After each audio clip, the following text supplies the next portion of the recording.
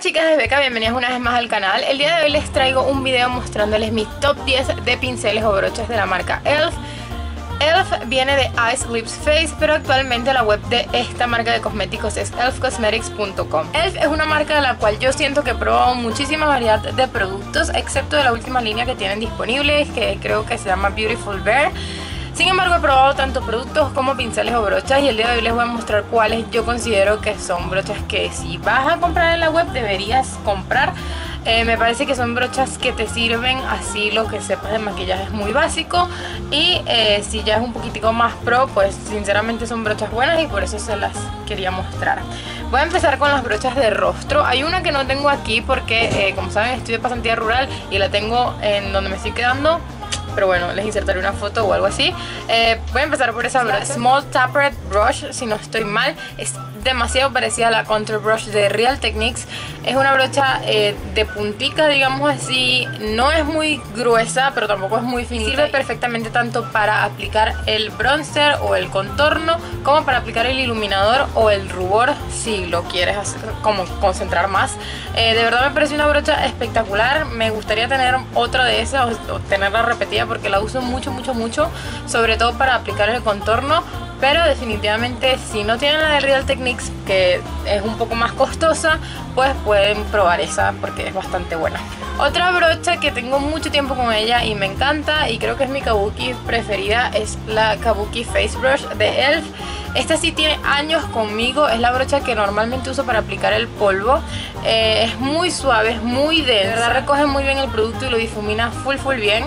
Em, como les digo, tengo bastante tiempo con ella, la he lavado millones de veces y sigue siendo súper suave, nunca me ha botado un solo pelito. Y en general, las brochas de la línea Studio, que son las que tienen el mango negro, son muy buenas en cuanto a calidad.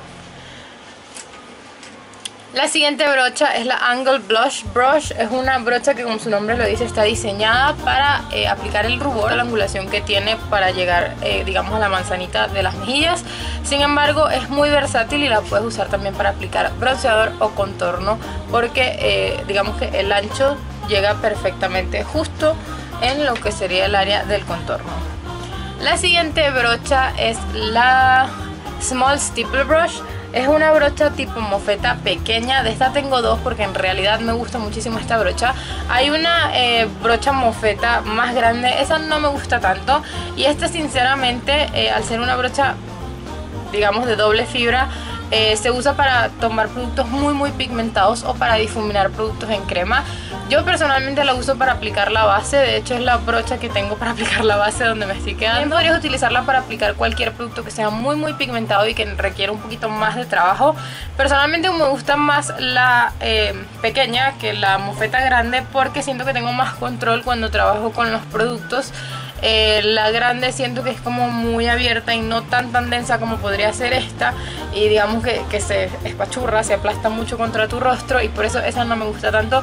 Pero si quieren una mofeta yo definitivamente iría por esta. Muy fácil de controlar y sinceramente aplica muy bonito el maquillaje y por último, que es una de las brochas más nuevas que tengo, es esta de acá. Si no estoy mal, esta brocha se llama Ultimate Blending Brush. Se supone que es una brocha para difuminar todo. su densidad y lo suave que es, es muy buena para dar un acabado bonito cuando estamos utilizando productos en crema o líquidos, por ejemplo base.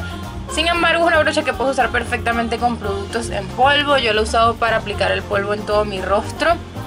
Eh, y sinceramente me gusta muchísimo, es muy muy suave y siento que deja un efecto eh, no solo bien difuminado, que es para lo que está diseñado, sino que te deja un acabado que no se ve como completamente plano. No es que le da textura al rostro, sino que se ve como muy natural, así que, que los productos se adhieran muy bien a la piel. Todas las brochas que les mostré de rostro son de la línea Studio. Eh, los precios de estas van entre 3 y 6, 8 dólares, algo así. Em, pero de los ojos sí me gustan bastante las de la línea regular Que cuando yo las empecé a comprar tenían un valor de un dólar Actualmente creo que cuestan 2 dólares Y las que son de la línea estudio para ojos Pues creo que valen 3 dólares si no estoy mal. Voy a empezar con las de la línea regular Tengo tres que me encantan. La primera es digamos mi favorita de todas de la línea regular Es esta, se llama Professional Defining Eye Brush no estoy segura de que esto vaya a enfocar porque la letra es plateada en fondo blanco.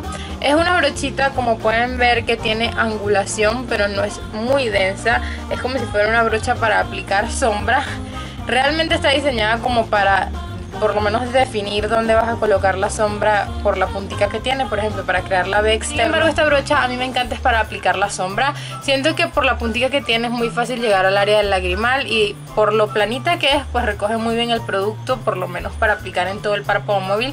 Y es para lo que lo uso personalmente. Me gusta muchísimo más esta brocha para aplicar sombras que la que ellos tienen, que es la, brocha normal lengua de gato para aplicar... Eh, las sombras. Así que yo elegiría esta antes que la otra porque me parece más precisa.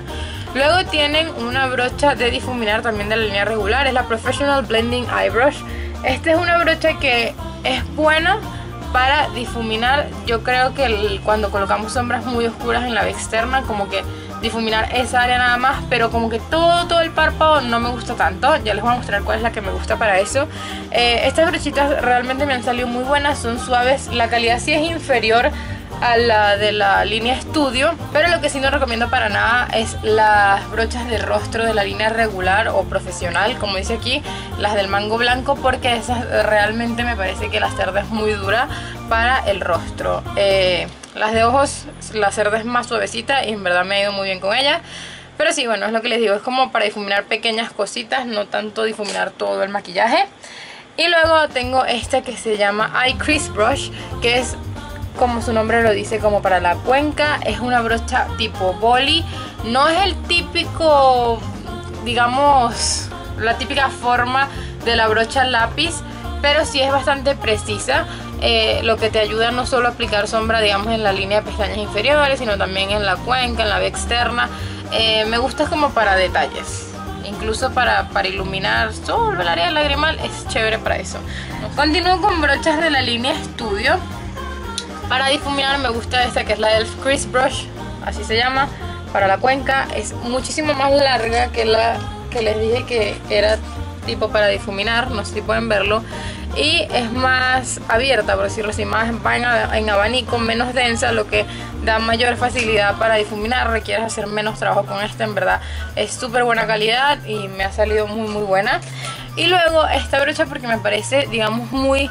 Em, la puedes usar para muchas cosas, muy versátil. Es la... no tiene nombre, pero creo que se llama... Eh, Duo, algo así, es una brocha doble realmente diseñada para las cejas.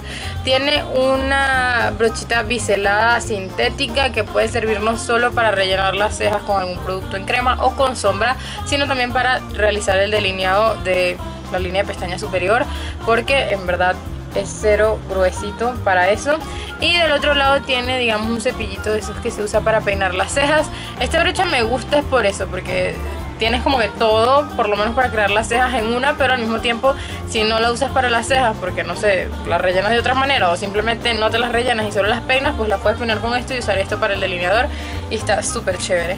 Entonces bueno, ese ha sido todo el video, espero que el video les haya gustado, les dejo abajo... Em, mi opinión o mis productos favoritos de ELF por si lo quieren ver.